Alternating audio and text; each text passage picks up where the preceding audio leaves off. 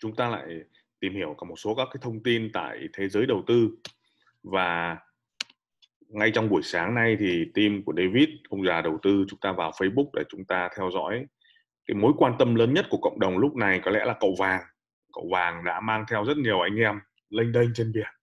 À, vùng 1730 thì đã như phân tích hôm qua là đang là mức cản của trendline H4 nếu break out vùng này thì hoàn toàn có thể về 1761 ở Fibo mở rộng.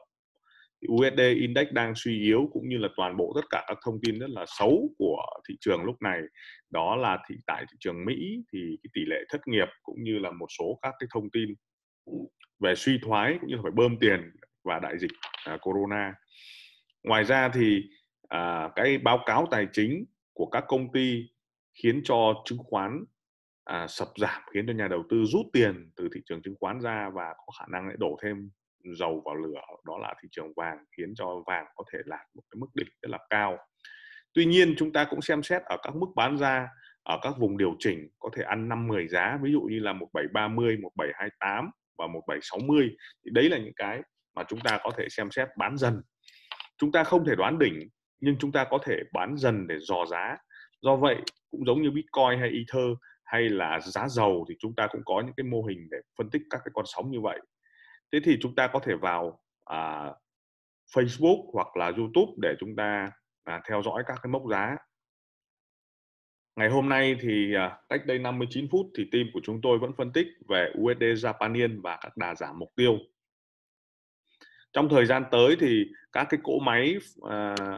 đưa ra cái sự phân tích automatic để chúng ta có thể có được cái tỷ lệ đầu tư và set up các cái volume sao cho đấy an toàn nhất thì ờ, GFX sẽ đưa ra một số các cái mô hình về robot trade cũng như là nghiên cứu phát triển ra các cái vấn đề về quản lý cái hệ thống tài khoản ờ, sao cho các quý khách hàng à, đầu tư với 5 10 ngàn đô hay là 100 ngàn đô à, an toàn và cái tỷ lệ rất là tốt.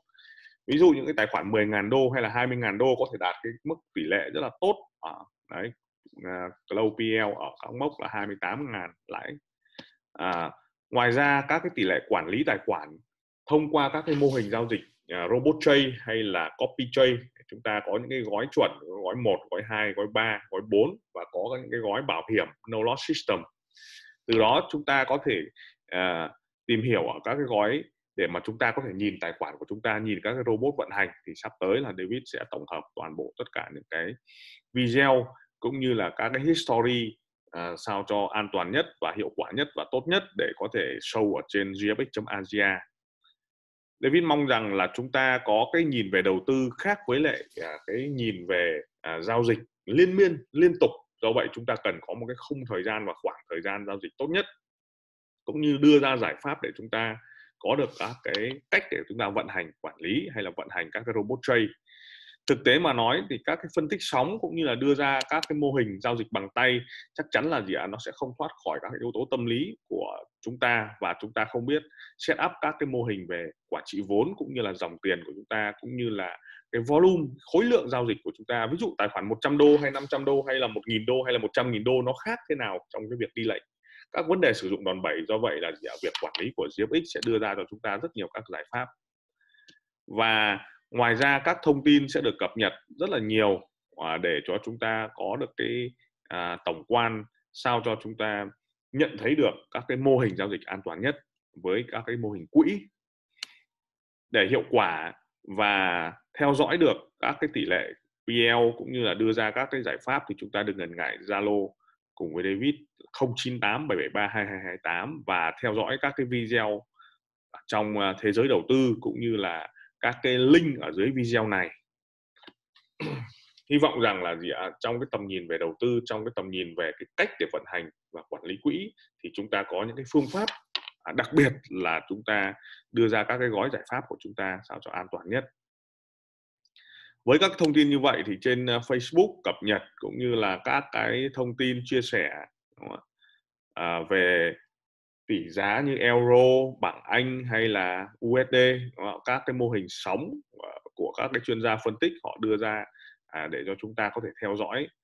xu hướng USD index đó. rồi à, các cái vấn đề về giá vàng cũng như là đưa ra các cái chỉ báo cho chúng ta thì chúng ta hoàn toàn có thể nhìn thấy được cái cách để chúng ta vận hành một cái quỹ như thế nào ngoài ra thì chúng ta có à, các cái tỷ lệ để chúng ta mua chữ hay là mua dài hạn hay đánh sóng ngắn hạn để chúng ta có thể theo dõi. Vậy thì chúng ta chọn cho mình cái hợp tác như thế nào đối với GFX chúng ta đừng ngần ngại, Zalo 0987732228 cùng với chúng tôi. Và xin được cảm ơn và hẹn gặp lại ở các video tiếp theo. Chúng tôi sẽ trình bày rất nhiều các cái giải pháp để chúng ta vận hành một cái quỹ và vận hành một cái tài khoản của chúng ta thông qua các robot trade và copy trade để chúng ta hiểu được các cái mô hình giá như thế nào.